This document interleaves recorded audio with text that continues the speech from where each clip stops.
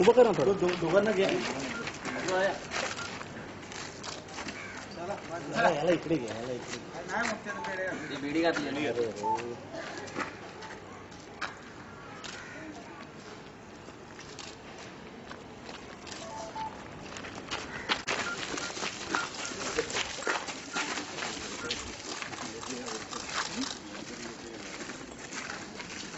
चालत नाही